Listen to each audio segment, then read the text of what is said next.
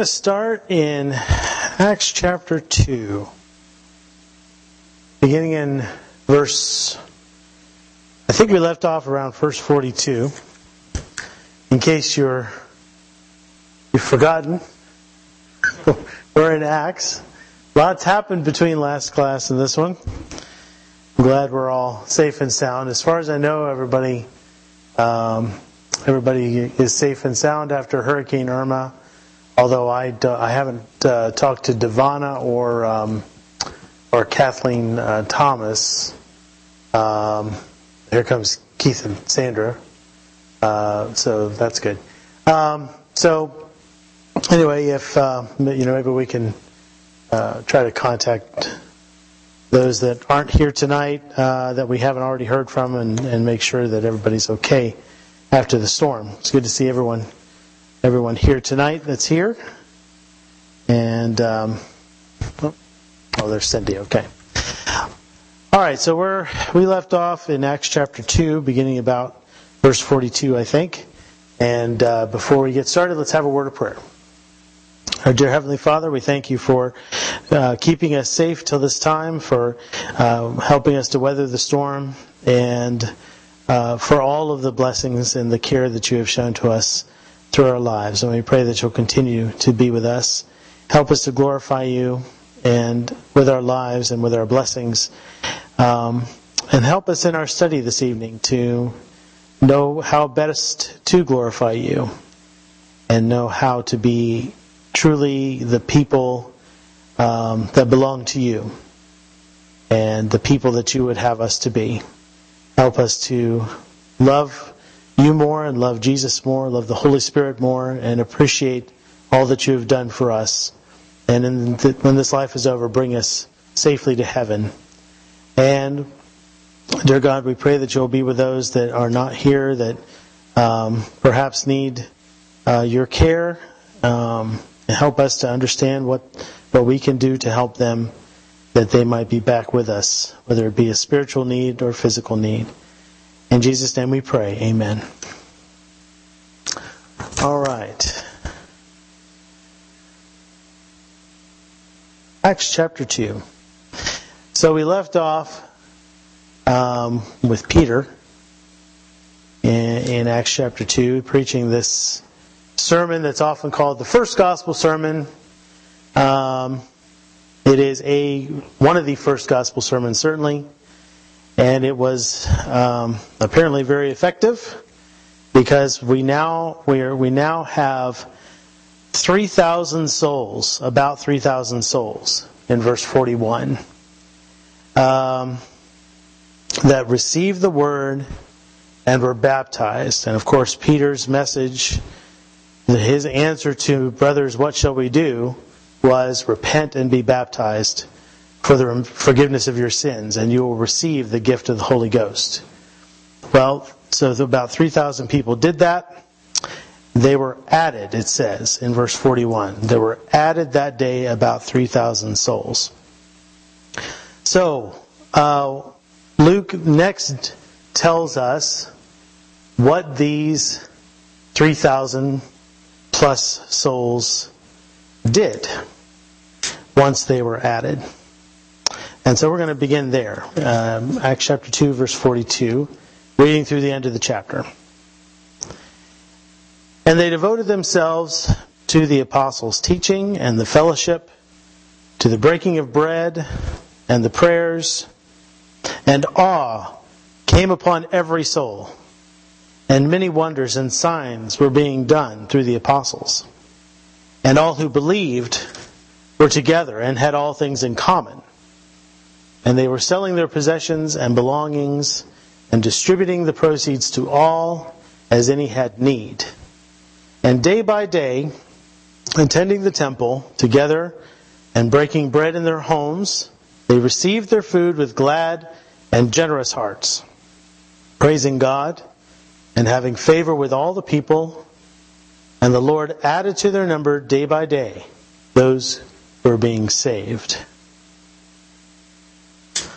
All right, so let's remember who these people are. Uh, besides the 120 that Jesus left there, um, that we talked about in Acts chapter 1, which included the uh, 12 apostles, the 12 witnesses, we now have these 3,000 souls. These 3,000 souls were um, of what um, religion formally. They were Jews, right? So they were Jews. Some were Jews by birth, some were Jews because they were proselytes, it says. Um, but they were all of the Jewish faith. And they were there to observe one of the feasts, um, during which all Jews would come together at Jerusalem. And so they were there, and then they heard this message about Jesus, and they decided to obey that message. So, what did they do? Well, they devoted themselves to the apostles' teaching and the fellowship, to the breaking of bread and the prayers.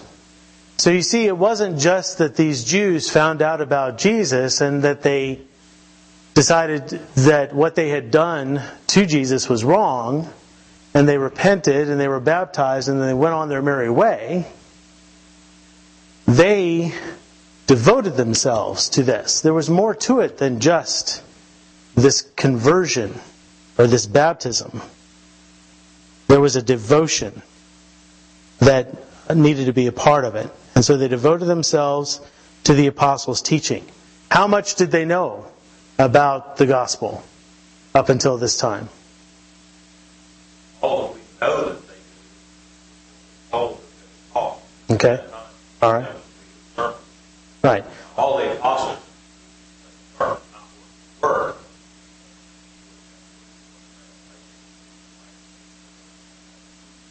They, were all taught the same thing. So they all knew that. Now it does say with many other words. he- There was more teaching than this. This is mm-hmm. what we know they did. Right. So, what kind of teaching do you think the apostles were uh, providing? What were they? What teaching were they devoting themselves to? what the Holy Spirit told them to tell, Well- right? subsequent events, subsequent chapters, I think we kind of get a glimpse of necessary inference of what they were being taught. They were being taught about brotherly love.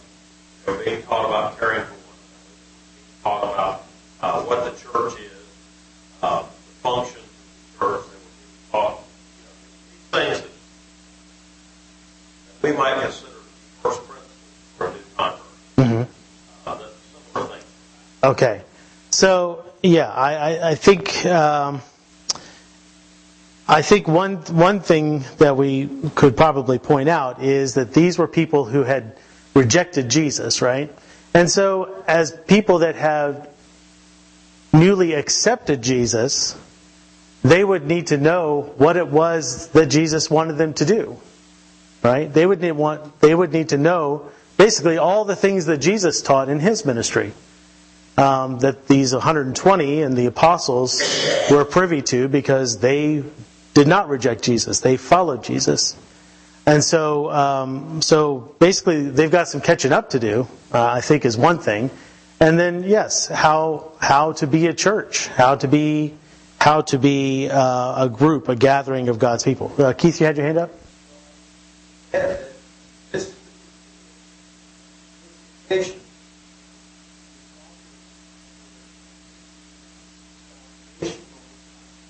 hmm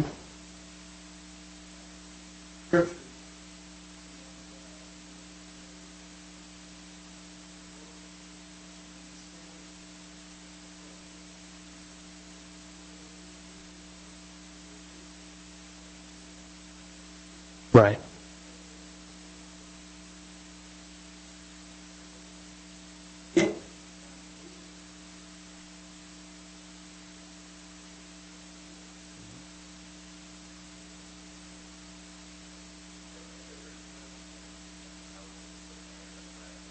Okay. A couple of things that,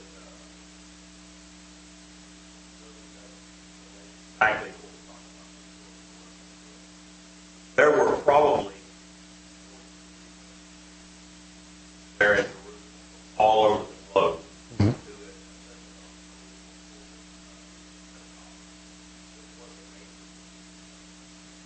So when you take three thousand that were baptized, there are three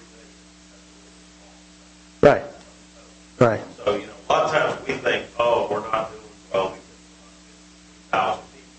Well, that was a small percentage.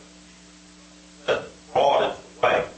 These instructions, the narrow is path, the light, few there. Right. It's always been that way. Uh, Let's keep our perspective on that. Right. And and then the second thing, and um, I had a uh, opportunity with a group that was allowed to use the uh, church building. uh, Brethren had to use their baptistry, baptize somebody. And they had a young lady that wanted to be baptized. So they brought her out after the service. I stayed.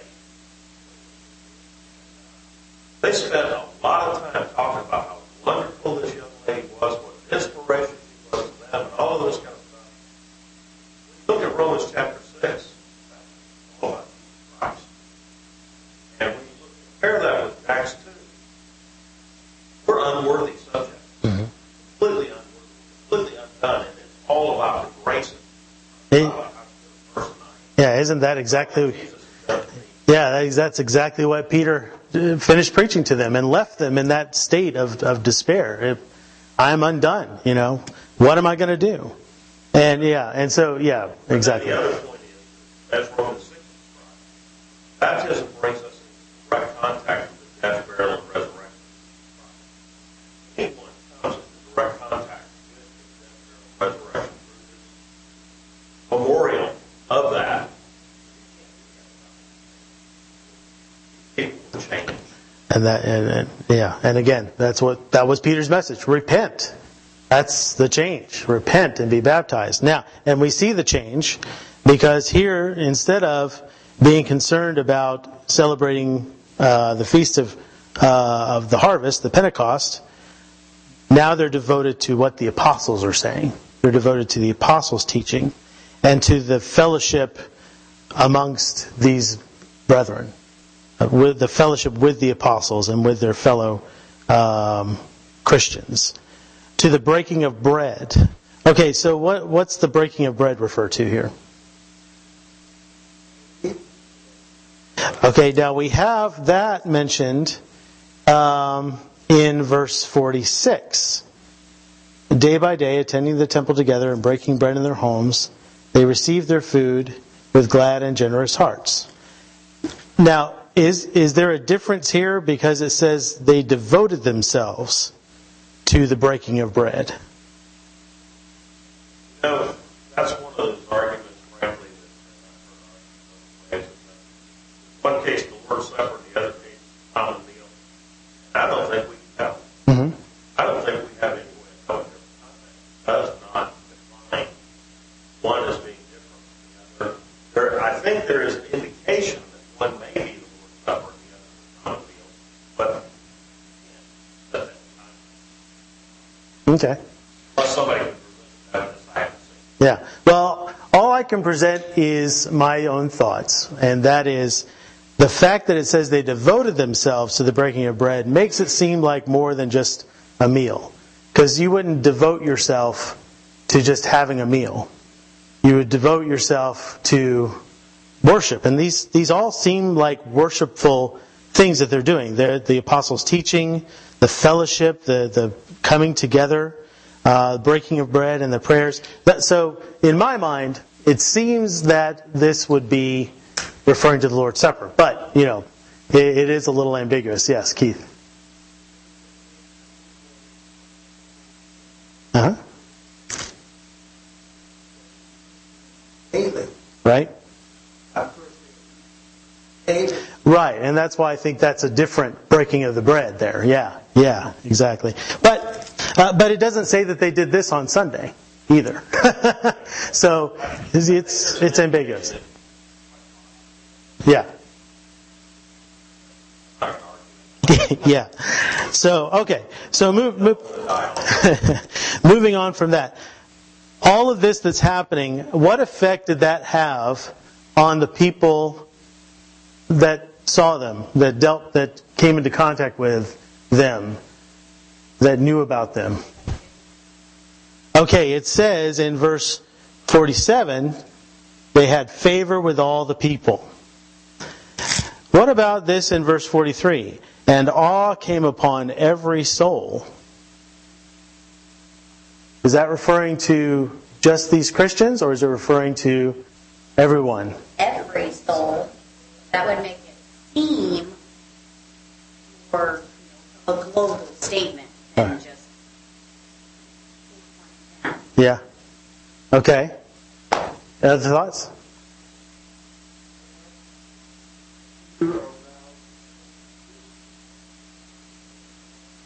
Okay. hmm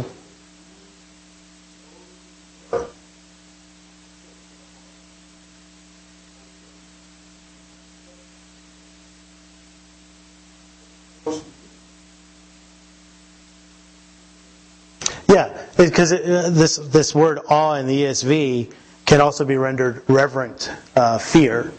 Um, so so yeah, there's there's an element of, of uh, fear there, and and part of that I think is what this says about that there are many wonders and signs being done through the apostles, and so now I'm going to tell you, I walked in this door thinking that this was talking about the Christians.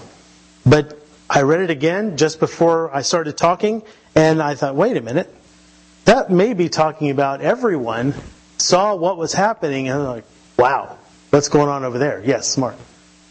Probably talking about Okay. that terminology. In Scripture and other places talk about a certain group of everyone. You know what I mean? But, yeah, not a bill Right. Okay. It, And it could very well be talking about those that Right. And, I'm, I'm going to say right now, I'm getting a little more bogged down in this than I intended to. Because what I want us to do is look at this passage. I do want to spend some time on it because I think this informs us to a great deal about what the church is supposed to look like. Um, because this is the first church. This is the first congregation of, of Christians, of God's people in, in the latter times, right? Um, and how many of them were there? Well, how many, how many, how many congregations were there? Oh, one. There was, yeah. Well, there was just the one, right? Yeah, just the one. Okay. And so this is where it begins, right? Um, and so we need to pay attention to what they did. They devoted themselves to the apostles' teaching. Okay? Very important. To the fellowship. They didn't just, you know, get baptized, like I said, and go off on their own and say, hey, I'm a Christian now. Aren't I great? No, they stayed there. They had fellowship with the rest of them. Uh, breaking of bread and prayers. They were together. There was awe there. They saw the wonders and signs. They were informed by that. Um, all right, and so then continuing, all who believed were together and had all things in common. What does that tell us? No, they shared, right? Because it says they were selling their possessions and belongings and distributing the proceeds to all as any had need. No, there was no one, I think we're going to read uh, later in the end of chapter 4, there was nobody that was needy in this group. Everybody had whatever it was that they needed. They shared what they had. Um, and day by day, uh, day by day, that, that should inform us.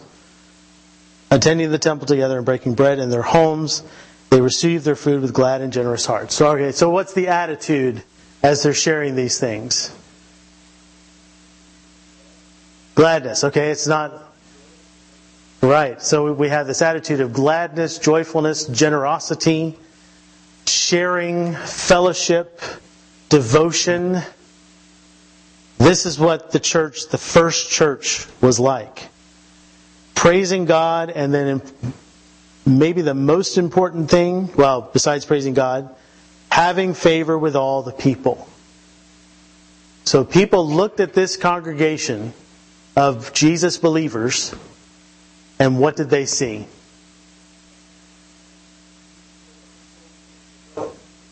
Uh huh. Okay. Okay.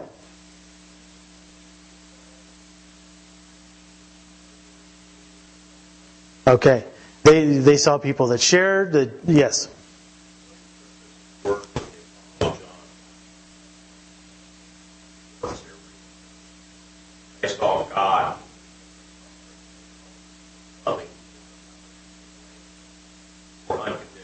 Okay. And that's why praising God and having favor with all the people is so important. Because they saw them praising God. They saw how they treated one another. They saw how they loved each other and how devoted they were to what the apostles were teaching. They saw the signs and wonders that the apostles were doing and realized that God is there. God is with them. And what was the result at the end of verse 47?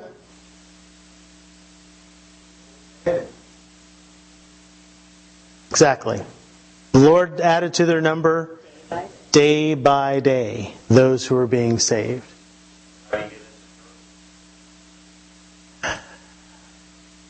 Good question. How do you get in the church? Right. Okay, right. The Lord adds you. The Lord adds the Lord adds adds you to the number. And that goes back to verse 41. So those who received the word were baptized and there were added that day about 3,000 souls. Who added those 3,000 souls? The Lord did. The apostles didn't say, okay, you've been baptized, you're welcome in. You know, I mean, maybe they did say that, but that's not what added them to the church. It was God that added them to the church because they received the word and obeyed it, right? Right. Okay, so makes sense. Everybody got the picture of, of, of who we're talking about? This group. Everybody got the picture that we need to put in our minds when we think about ourselves and 14th Avenue. This is the this is the picture that should guide us, that we should be trying to look like, um, because everyone should be able to look at us, and we should have favor with all the people, or at least we should not be giving them any reason to not favor us. Some people will reject us just because of what we stand for. Um, we know that. We know that. But, um, all right. So, moving on to chapter three. If there's no further comments or questions. now, Peter and John were going up to the temple at the hour of prayer, the ninth hour. And a man lame from birth was being carried, whom they laid daily at the gate of the temple that is called the Beautiful Gate, to ask alms of those entering the temple. Seeing Peter and John about to go into the temple, he asked to receive alms. And Peter directed his gaze at him, as did John, and said, Look at us. And he fixed his attention on them, expecting to receive something from them. But Peter said, I have no silver and gold, but what I do have I give to you. In the name of Jesus Christ of Nazareth, rise up and walk. And he took him by the right hand and raised him up, and immediately his feet and ankles were made strong. And leaping up, he stood and began to walk, and entered the temple with them, walking and leaping and praising God. And all the people saw him walking and praising God, and recognized him as the one who sat at the beautiful gate of the temple asking for alms. And they were filled with wonder and amazement at what had happened to him. All right, we'll stop there for now. Let's make sure we get the picture of what's happening here. Um, we have a man, and how lame was this man? All right? Since birth, that's very important. He couldn't walk at all. He had to be carried in. He was laid at the beautiful gate. Uh, that's the name of the gate, the beautiful gate. And uh, I did just did a quick search, and I couldn't. You know, there's speculation on which gate was really the beautiful gate. Not not a lot of information there, but the fact that Luke names the gate, what does that what does that tell you? Very, right. Okay. All right. And yeah, and it's a specific location. Do you think it's a location that would be known to people? Oh, absolutely. Right. Okay. So I get the impression that this is a gate that a lot of people are coming in and out of the temple, right? And I mean, it's the beautiful gate. Why wouldn't you go in that gate? You know, who would who wants to go in the the trashy gate? I mean, you know, you you go in the beautiful gate. All right. So so I, I get the impression that a lot of people are coming in and out of this gate to the temple, and there's this lame man carried there. How often is he there? Daily. So how many people see this lame man, lame man every day? Right. Everyone. Okay. So, uh, so this, you know, this is not. How likely is it that this man was a plant for Peter and John, just, just to, uh, to pull a trick? Yeah, to pull a trick on the. Okay. So there's, there's, you know, very, very zero chance that this is a, a Right, yeah. They've been working on this for decades, you know, waiting for this. Yes. Now, if this, if this was, if this, and if this didn't happen, Right. here's the point. Luke has given specific details of where this happened, how it happened, when it happened. Why don't we have any record of anybody from that time writing and saying, hey, I was there, it didn't happen? Mm-hmm. Or I was there, this guy had never been there before. Or whatever. We have no reputation of, the, of any of these stories of healing, of any of this. And there were so many witnesses at that time that were prolific writers. Right. We have nothing that Right. denies the story's true. It would be very easy to refute. Very easy to refute. CNN. All right. So, so the so the point is that um, the we understand then why the reaction to this miracle happening. There was no doubt that a miracle happened here. There, was there any doubt at who did the miracle, who performed the miracle? No. Why? Because the lame man is leaping and walking with them into the temple. All right, so he's there with Peter and John. So yeah, maybe nobody heard Peter say what he said to the lame man, but there was no doubt that this guy who couldn't walk is now walking into the temple with Peter and John. And not just walking, but leaping and praising God. Which which is another thing. How totally was this man healed? 100%, maybe even better than 100%. Yeah. All right? Yeah.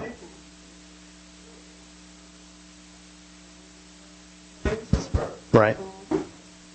Exactly. Everybody knew. And so they're all wonder, uh, filled with wonder and amazement at what happened to him. And so here's a man, he's praising God. He's praising God, walking and leaping, and then they go into the house of God as he's praising God. All right, so every, there's there's no question in anybody's mind that God is in this that has happened. All right, so let's keep reading. While he clung to Peter and John, all the people, utterly astounded, ran together to them in the portico called Solomon's. And when Peter saw it, he addressed the people. Men of Israel, why do you wonder at this? Or why do you stare at us as though by our own power or piety we have made him walk? The God of Abraham, the God of Isaac, and the God of Jacob, the God of our fathers, glorified his servant Jesus, whom you delivered over and denied in the presence of Pilate when he had decided to release him.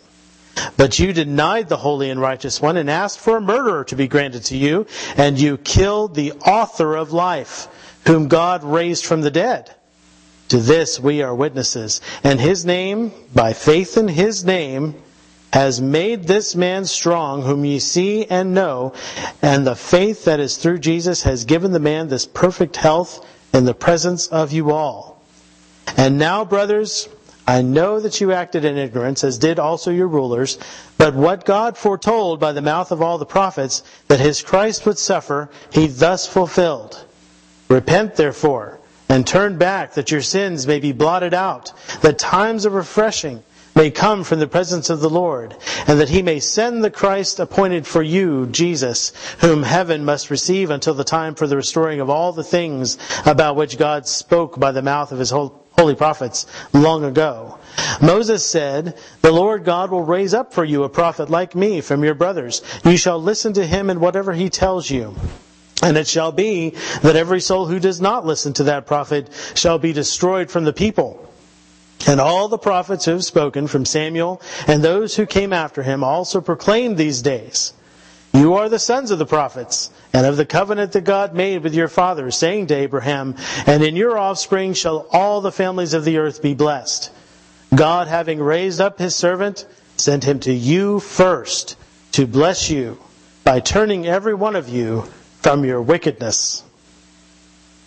All right, so Peter gets another opportunity. And I think there's a lesson in here for us. Acts 2 was an opportunity for Peter to stand. Peter saw an opportunity to stand up and speak, and he did. They, they, they all the people rushed together because the Holy Spirit brought them there with that sound of the wind and the, and the, and the flames um, the, and, and the speaking in tongues. And then Peter took that opportunity and stood up and spoke. Here again, the Holy Spirit provides an opportunity for Peter to speak because everyone sees the miracle and they rush together. And Peter saw it and he spoke. Yes?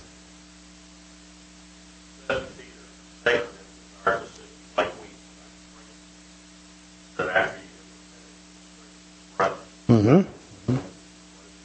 Yeah, exactly. Exactly right. And yes, uh, Peter, yeah, exactly. Uh, strengthening his brethren, just as Jesus said. And, um, and so, so Peter begins to address the crowd. And the first thing he says is, why do you, why do you wonder at this? um, what is he reminding them of about this miracle? Uh, by who? Jesus. By Jesus, yes. Could someone uh, ring the first bell for me, please? Um, so, yes, by Jesus and by Jesus. Yeah, exactly. By Jesus. That's exactly his point. And that's the point he continues to make. Yeah, exactly. So, so his, he's saying, don't look at me. This isn't about me. And this, this is something that we need to remember when we teach others. It's not about you teaching others the gospel. It's not about the power that you have and your great persuasive abilities. It's not about that. It's about God's power. Um, the same with the church. You know, where it's not about the church. The gospel is not about the church. The gospel is about Jesus. It's about the gospel is the power of God to save. And we ought to present it as such and not just try to bring people in the door, not try to convert people to our church, but convert people to Christ instead. Um, and so uh, that that's something to remember. It's not about us. The um, he he talks about the God of Abraham, the God of Isaac, the God of Jacob, the God of our fathers. These are all Jews. They would have understood who he was talking about. They would have understood that this was God working this miracle, but he turns it from God to Jesus, saying the one that you crucified, the one that you rejected, when Pilate was going to release him, you rejected him, you denied him. God raised him from the dead, and it's in his name that this was done. So, this is not very different from that first sermon that we hear from Peter. You rejected him, God raised him from, from the dead. It's his power that you're seeing. And so, if Jesus, the, the implication is if Jesus has this power, you ought to listen to him too. Um, he calls Jesus the author of life. What does he mean by that? Okay? Right. Exactly. The author of life. If you want life, Jesus is the source of that. Jesus is the author of that. So his point is that if you want to be saved, you go to who? Jesus, right? The power is not in the temple. The power is not in your Jewish heritage. The power is in, not in Peter or John. The power is in Jesus. He has the power to heal this man. He has the power to save. And so he gives them the opportunity for redemption in verse 17. I know you did it in ignorance, you and your rulers, but, and, and this is what God planned. God foretold that this would happen, and now it's time for you to repent.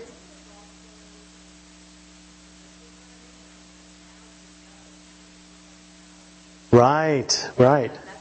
That's a little bit different. Yeah, we don't see that element in the first sermon. Um,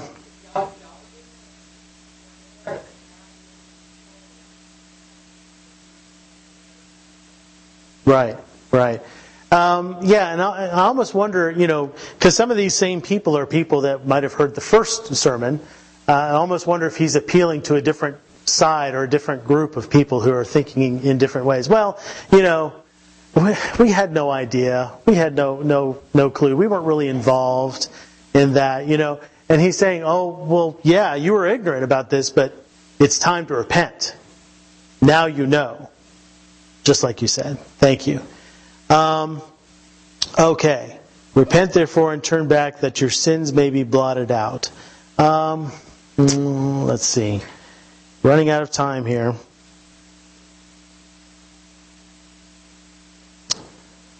Um, and then he points out, uh, okay, well, I'll just mention this. If you look at Exodus chapter 32, verses 30 through 34, the idea of blotting out is there. But in that case, he's talking about those that sinned against God being blotted out. Moses says, if you, uh, if you will not forgive these people, this is after the golden calf, uh, I think. I may have that wrong. Uh, but if you will not forgive these people, then blot me out of your book. And God says, no, I will blot out who, whoever sins against me. Well, this kind of turns that on its head. Now they have a chance to have their sins blotted out instead. So basically, Peter's message is the state you're in right now, you've rejected God's anointed, you've rejected the author of life. You're going to be blotted out.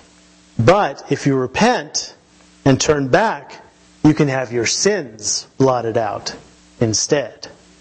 And so, yeah, big difference, exactly. Um, and then finally, he points out that uh, God having, he points out the covenant, that they were sons of the covenant, that um, in your offspring shall all the families of the earth be blessed. And of course, we know that Jesus is the fulfillment of that. Through Jesus, the offspring of Abraham, all the families of the earth would be blessed. But he says, God sent Jesus to them first to bless you by turning every one of you from your wickedness. Wouldn't it be a shame if this blessing was sent to all the earth through the Jews and the Jews